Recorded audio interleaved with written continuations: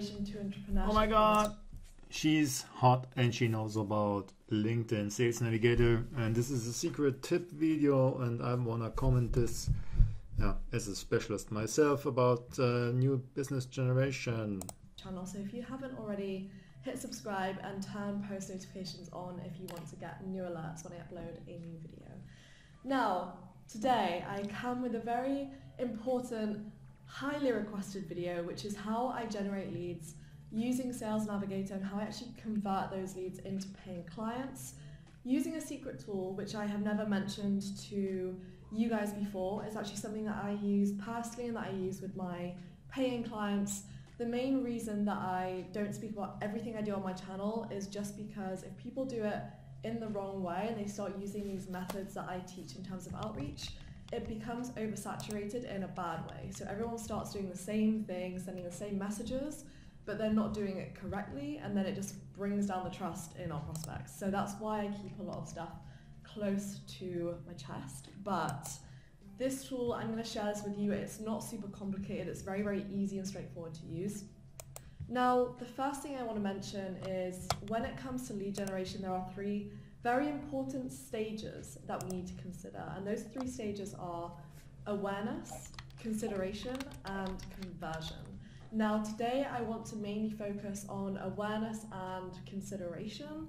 Um, when it comes to awareness, there are two main ways that this tends to happen. The first way is inbound marketing, and the second way is outbound. Now, if you've watched a lot of my content, you'll know that I speak a lot about inbound, um, but today I do want to focus on outbound more. And before I get into that, let me just explain the difference. So, inbound marketing versus outbound marketing.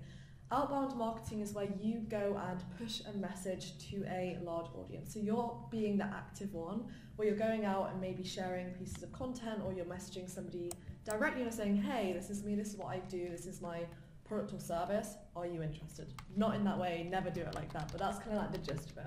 And then when it comes to inbound marketing, think about your brand or your company being magnetic and attracting your ideal prospects. So inbound is when people are coming to you and saying, hey, um, I saw this piece of content, I just engaged with it, I want to know more about what you do, please can we jump on a call? That's more inbound.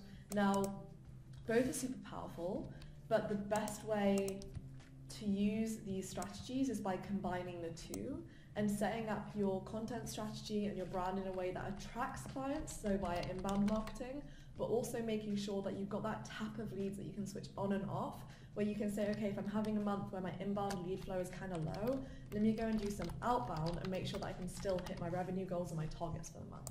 So that's the difference between the two. Today we are having a heavy focus on outbound. So before we get into it, let me just mention the two different tools that you are going to need to follow along with this video.